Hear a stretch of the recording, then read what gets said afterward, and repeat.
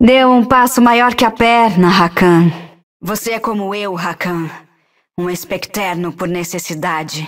Te respeito por jogar dos dois lados, Aya. Podíamos ter usado sua astúcia, Aya. Que pena. Vladimir. Eu senti o cheiro do seu ego assim que chegou. Uma vida egoísta é uma vida desperdiçada, Vladimir. O verdadeiro inimigo está na congregação, Sara.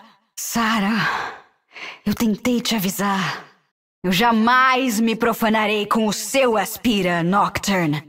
Quer me sacrificar pro seu monstro, Nocturne? Você é só uma arma, Cho'Gath?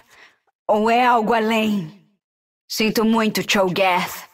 Você nunca pediu essa vida. Já vi monstros de verdade, barão! Esses preços são de tirar o fôlego. A congregação adoraria ter esses produtos. Que tal vender exclusivamente para os especternos?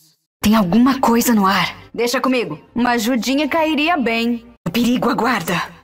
Nunca é tarde para ser rotulada como herege. Alguns chamam os especternos de praga, mas talvez sejamos a cura. Que novas blasfêmias encontrarei hoje. Não ligo se todo mundo se odeia. O único jeito de acabar com essa guerra nefasta é pela união. Talvez a bondade nunca compense a violência, mas preciso crer que é possível tentar. Eu sou uma exilada, estilhaçada, mas agora estou renovada. A congregação tem suas rupturas, mas pode ser consertada. Eu achava que a salvação era dada, mas agora sei que só pode ser ganha.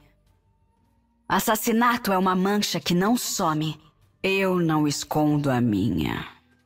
Especternos se expressam de duas formas: vidro manchado e manchas de sangue. Eu não espero salvar todo o mundo do mal. Só o meu cantinho. Matar uns é melhor que matar outros. Mas quero mesmo é matar a minha sede. Será que eu mudei? Ou me aproximei mais do que eu já era? Longe da congregação, agora vejo o que esconderam de mim. Brincadeira.